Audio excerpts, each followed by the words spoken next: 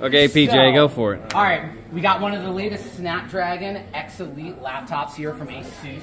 So it's got the 45 TOPS NPU. So we're showing our buddies Algoriddim, their app djay Pro. So it's a uh, mixing app for DJs. So previously, you know, before the world of digital, all you could do, and actually before the world of NPUs, all you could do is take one song, move it from the left to the right, adjust the bass, adjust the treble, adjust the tempo, that's it, but not now. Now, thanks to the NPU on Snapdragon, you can actually isolate instruments in real time.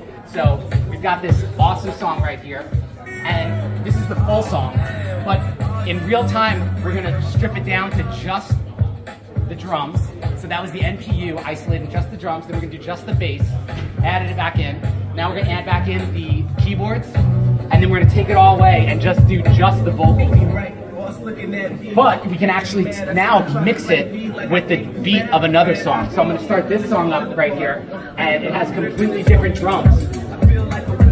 Totally different song, totally different, you know, ability to create new music. So we'll flip it back over to this song, and as you can see, this is a totally different song. And we can also isolate the vocals here, and we can mix it back in with the drums from this song also. That's cool. Hey, PJ, I think you found a new. Thank you. Oh, by the way, because of the 45 TOPS NPU, we have a two uh, 2x larger neural network than the one running on Intel.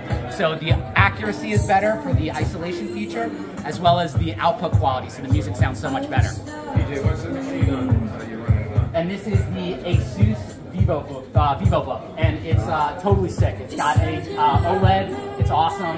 Go check it out. Can we call you Armadeus? Armade- yeah. Rock me, Armadeus. There we go. There we go. cool. Well done, man. Hey, thank